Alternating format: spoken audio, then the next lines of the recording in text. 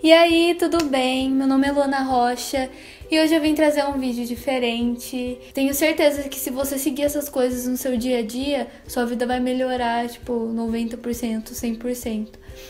Então, vamos lá. São alguns hábitos e algumas atitudes que vão fazer o seu dia mudar. Antes de começar o vídeo, se inscreva aqui no canal, deixe seu joinha, compartilhe com seus amigos. Também vou deixar minhas redes sociais passando aqui caso você queira me acompanhar. Enfim, é isso. Bora pro vídeo. Primeira coisa que eu anotei aqui foi acordar cedo. Sério, isso muda totalmente o seu dia, muda seu humor.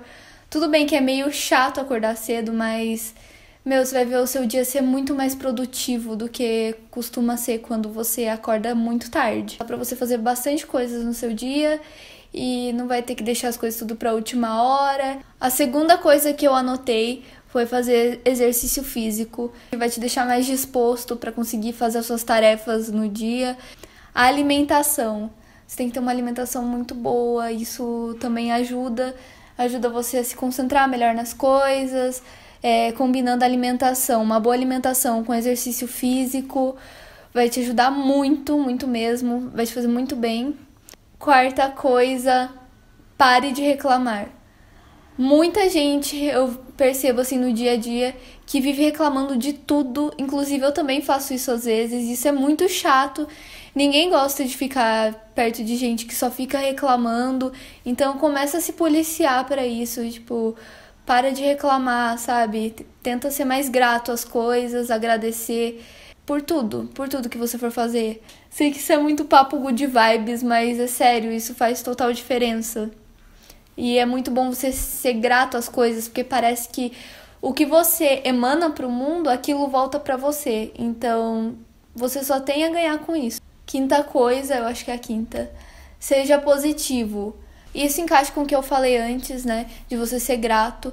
Você ser uma pessoa positiva, agir positivo, é você não perder a fé e nem a esperança de que coisas boas vão acontecer com você se você agir de tal forma. Enfim, se você colocar as coisas em prática e você ter um, um pensamento positivo sobre isso, eu tenho certeza que vai dar tudo certo.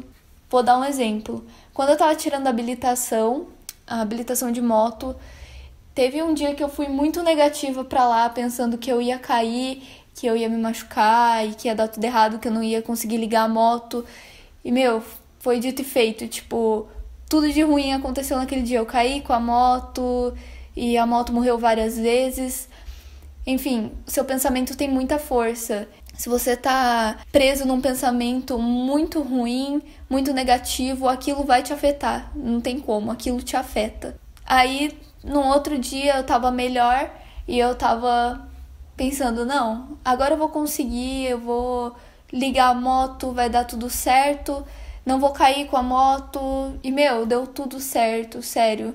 Nunca mais aconteceu isso porque eu vi que a minha cabeça tava me auto boicotando. Eu uso isso para tudo na minha vida. Quando eu vejo que a minha cabeça tá falando: "Ah, você não é boa o suficiente, tipo, você não vai conseguir fazer tal coisa", eu já penso: isso não é um pensamento que eu quero para mim. Então eu tento excluir aquilo da minha cabeça, sabe? E pensar, não, eu posso sim fazer, eu consigo fazer, eu vou fazer e é isso. E vou lá e faço. Então é assim que eu também melhorei muita coisa na minha vida, agindo dessa forma. Sexta coisa, eu acho que é sexta, sei lá, já perdi as contas.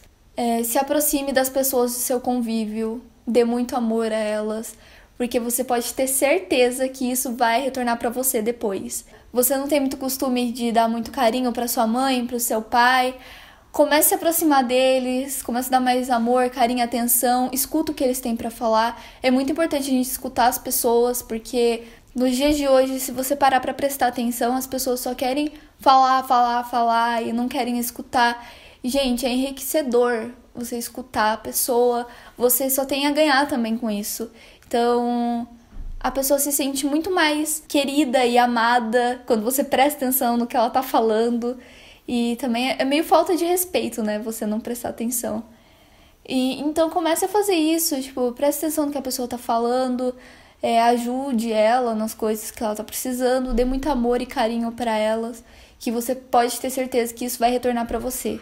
Vou dar um outro exemplo. Tipo, aqui em casa mesmo, eu e minha mãe a gente brigava demais. Demais. E eu só ficava apontando os defeitos para ela, tipo, ah, porque você não faz isso, porque você não faz aquilo. E aí eu tive uma conversa com a minha psicóloga e a gente conversou sobre eu mudar o meu comportamento em casa. E a partir do momento que eu comecei a fazer isso, meu, tudo mudou, sério. É muito raro a gente brigar hoje em dia. E nosso convívio aqui em casa, nosso convívio familiar melhorou demais. Então não espere do outro, faça você. Sétima coisa, não se cobre tanto. Leve a vida mais leve. Você ficar se cobrando muito para fazer as coisas só vai fazer você protelar mais, é, ficar adiando e, tipo, você vai acabar pegando uma repulsa daquilo. Então, Faz as coisas no seu tempo, não tenha pressa. Todas as coisas têm o seu tempo certo para acontecer, então não queira se apressar, se afobar para alguma coisa para que ela aconteça. Faz aos poucos o quanto você consegue fazer e pode ter certeza que a vida vai se encarregar do resto. Não fique colocando muita pressão em cima de você mesmo, que isso faz mal. E é isso. Tire um dia da semana para você se dedicar o que você gosta de fazer. Tipo, eu amo música, então eu sempre tiro um dia da semana para ficar o dia inteiro tocando violão, cantando, pegando músicas novas, porque isso tipo preenche a minha alma, não sei explicar, sabe? Isso me preenche demais. Outra coisa, saiba dizer não. Meu, é muito chato dizer não para as pessoas, mas às vezes é necessário. Vamos supor, você não tá afim de ir numa festa, você não tá afim de ir em algum lugar, só que você não tem coragem de falar isso pra pessoa e você vai do mesmo jeito. Você pode ter certeza que vai ser uma merda, porque você não vai estar tá feliz de estar naquele lugar. Era só você dizer não. Entende? Não, simples. Tipo, não quero ir. Supor, ah, não quero ir no cinema, não quero ir. Não quero ir nessa festa, não quero sair, quero ficar em casa. Sinceridade é tudo é melhor você ser sincero com as pessoas do que você fazer uma coisa que você não quer fazer. Se afaste de pessoas tóxicas. Um amigo, alguém da família que você pode evitar de conviver. Isso faz muito mal, te deixa para baixo. Esse tipo de pessoa sempre consome muito a sua energia, muito consome muito de você. Então, se afaste de pessoas assim. Não queira ter por perto pessoas assim. Se for alguém da família, tipo pai ou mãe, senta com essa pessoa, conversa com ela numa boa, fala: Ó, oh, não tô gostando de tal coisa que você tá fazendo ou falando pra mim. Será que a gente pode arrumar isso? Você tá me magoando? Não sei, tenta conversar com essa pessoa. Se não der certo, só fica na sua, sabe?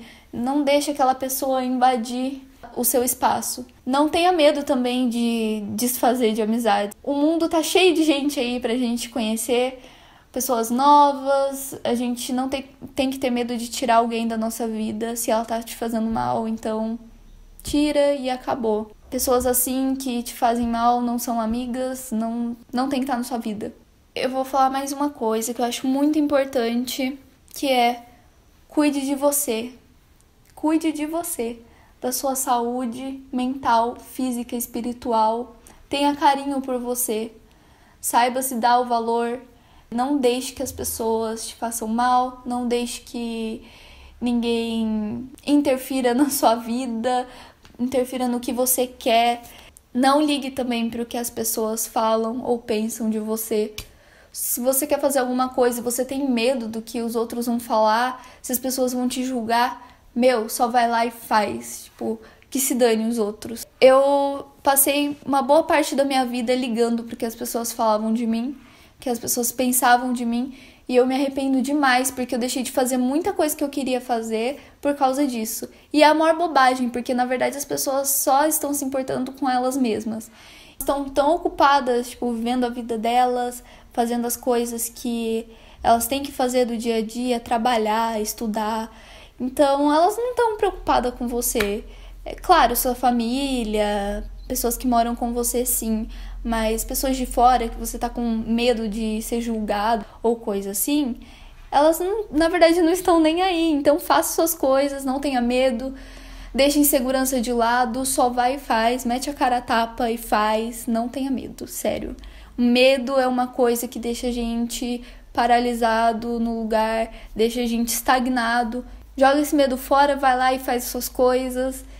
E é isso. Eu espero muito que você tenha gostado desse vídeo, que esse vídeo tenha colaborado para o seu dia ser melhor ou fazer a sua semana melhor também. Eu acho que eu vou trazer mais vídeos assim, porque eu gosto de falar dessas coisas.